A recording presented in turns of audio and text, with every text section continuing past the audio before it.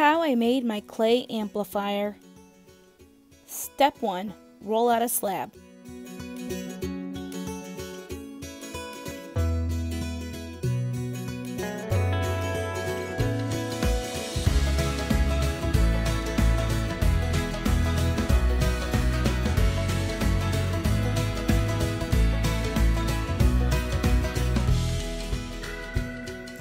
Step 2.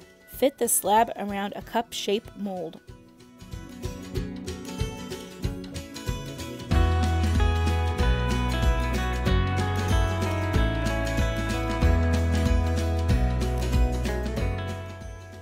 Step 3. Make features that resemble your animal, slip and score them to attach.